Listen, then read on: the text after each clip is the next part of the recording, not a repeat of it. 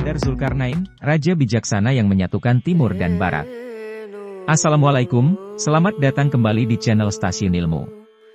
Hari ini, kami memiliki kisah yang sangat menarik untuk dibagikan dengan Anda, yaitu cerita tentang Iskandar Zulkarnain, seorang raja yang bijaksana dan penuh hikmah yang berhasil mewujudkan Timur dan Barat di bawah panji pemulihan dan keadilan.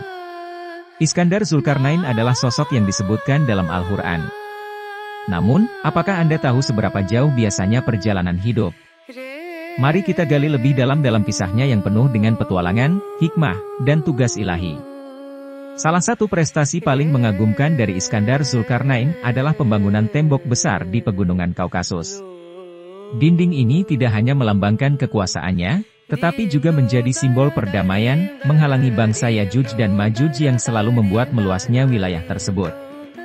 Namun, keahlian Iskandar Zulkarnain tidak hanya terbatas pada urusan militer. Ia juga dikenal sebagai pemimpin yang adil dan penyayang.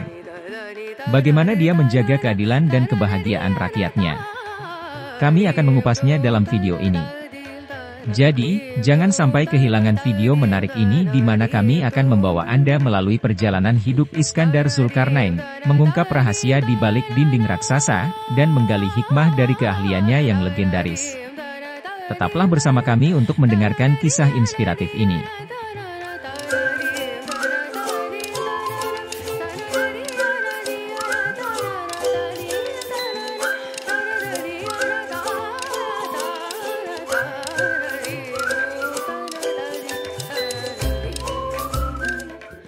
Mari kita lanjutkan dengan membahas sosok misterius yang disebutkan dalam Al-Quran sebagai penguasa kuat yang kekuasaannya meliputi seluruh bumi, menjembatani timur dan barat. Tokoh masyur ini bernama Iskandar Zulkarnain. Dalam bahasa Arab, Zul berarti memiliki, sedangkan Karnain berarti memiliki dua atribut yang menonjol. Tanduk dalam konteks ini dapat diartikan sebagai mahkota atau lambang kewibawaan. Kekuasaan Iskandar Zulkarnain meliputi wilayah antara dua tanduk kiasan, satu di timur dan satu lagi di barat.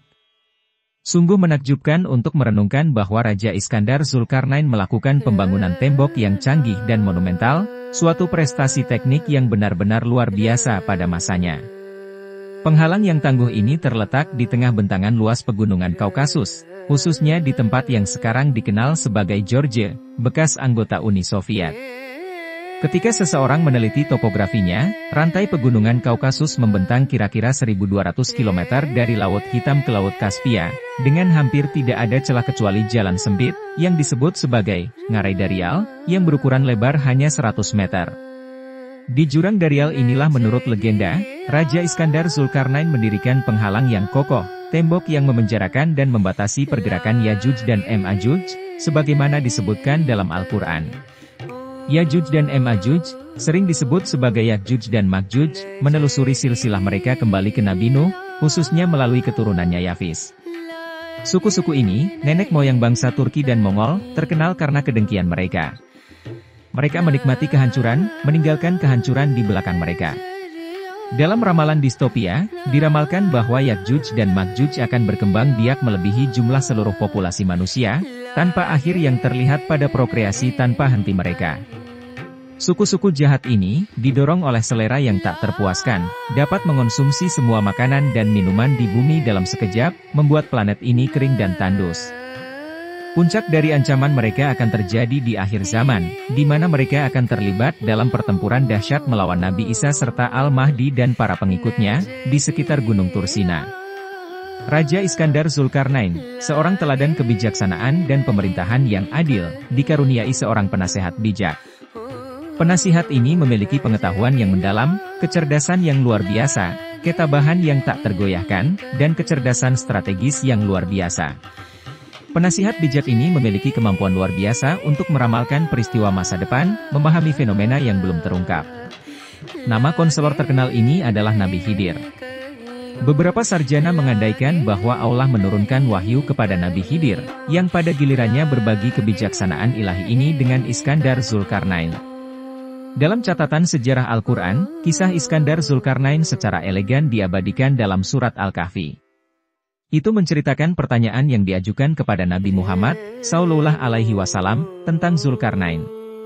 Al-Quran menjelaskan, sesungguhnya kami telah menegakkan dia di atas bumi, dan kami memberikan kepadanya segala jalan. Maka, dia mengikutinya sampai ketika dia mencapai terbenamnya matahari, dia menemukannya, seolah-olah, terbenam di mata air lumpur gelap, dan dia menemukan di dekatnya suatu kaum. Allah berfirman, Wahai Zulkarnain, apakah kamu menghukum mereka, atau mengadopsi di antara mereka, jalan, kebaikan? Narasi keagungan Zulkarnain juga bergema dalam catatan sejarah Barat. Namun, patut dicatat bahwa kronik-kronik Barat ini sering menampilkan potret yang bertentangan dibandingkan dengan terjemahan Al-Quran. Khususnya, penakluk Alexander Agung yang terkenal, meski memiliki nama yang sama, berbeda secara signifikan dari Iskandar Zulkarnain yang digambarkan dalam Al-Quran. Narasi sejarah di Barat tidak menceritakan upaya epik apa pun yang melibatkan pembangunan tembok besi tembaga yang sangat besar dan berteknologi maju. Sebaliknya, Alexander Agung dicirikan sebagai seorang musyrik yang tidak menyembah Allah. Dengan demikian, menjadi jelas bahwa, meskipun berbagi nama dan elemen naratif tertentu, terdapat jurang temporal dan kualitatif selama dua milenium antara tokoh-tokoh yang berbeda ini. Tanpa ketajaman, seseorang mungkin disesatkan untuk menggabungkan dua identitas yang berbeda. Untuk menjelaskan pertemuan sejarah yang penuh teka-teki ini, Ibnu Jarir Al-Tabari, dalam karyanya, Tafsir Al-Tabari, mendalilkan bahwa Iskandar Zulkarnain adalah seorang yang berasal dari Kekaisaran Romawi. Meski terlahir dalam kemiskinan, karakter pribadinya ditandai dengan kebajikan, bahkan di tahun-tahun awalnya. Perbuatan bajiknya menyebabkan pendakiannya di masyarakat, mendapatkan penghargaan di antara rakyatnya. Ketika dia mencapai usia dewasa, dia dijiwai dengan kebenaran. Allah kemudian menyapanya, berkata, Wahai Zulkarnain, kami akan memberdayakan Anda untuk melakukan tugas penting di bumi, yang tidak dapat diselesaikan oleh siapa pun kecuali Anda. Zulkarnain, menanyakan kemampuannya, menyadari tanggung jawab besar yang diberikan kepadanya, menjawab dengan rendah hati, Ya Tuhanku, bagaimana saya bisa melaksanakan tugas ini? Saya tidak memiliki kekuatan dan sarana untuk melakukannya sendiri. Allah, dalam kebijaksanaannya yang tak terbatas, menjawab, Allah memberi Zulkarnain kemampuan. Allah meningkatkan kemampuan Zulkarnain. Allah memperluas pemahaman Zulkarnain, memungkinkan Anda untuk memahami segala sesuatu. Allah memfasilitasi ucapan Zulkarnain, memastikan bahwa Zulkarnain dapat berkomunikasi dengan berbagai bangsa. Allah menganugerahkan kepada Zulkarnain visi untuk memahami segala sesuatu. Allah membentengi kekuatan Zulkarnain sejak kecil. Iskandar Zulkarnain memendam keengganan terhadap perang tanpa henti antara timur dan barat. Di sebelah timur berdiri Kekaisaran Persia, sedangkan di sebelah barat terletak Kekaisaran Romawi. Khususnya, pencarian perdamaian Iskandar Zulkarnain dilengkapi dengan sikap yang adil dan merata. Dia berjanji untuk memberikan keadilan kepada yang tertindas dan melindungi yang benar. Berbicara kepada pihak yang berperang, dia menyatakan, siapa pun yang menindas akan menghadapi pembalasan kami, dan kami akan mengembalikan mereka kepada Tuhan mereka, yang akan menghukum mereka dengan keras. Kepada yang bajik, dia menawarkan perlindungan, hanya membebani mereka dengan beban ringan. Sembari memegang kekuasaan dan kewibawaan yang tiada tara, Iskandar Zulkarnain tetap membumi dan rendah hati, mensyukuri nikmat ilahi yang telah dimilikinya. Selain itu, penguasa yang cerdas ini didampingi oleh penasihat terhormat, Nabi Hidrir, yang pengetahuan dan kecerdasannya yang luas sangat berharga. Diakini bahwa Allah, subhanahu wa ta'ala, menyampaikan wahyu kepada Nabi Hidrir, yang pada gilirannya memberikan kebijaksanaan ini kepada Iskandar Zulkarnain, sehingga meningkatkan kemampuan raja untuk membuat keputusan yang benar.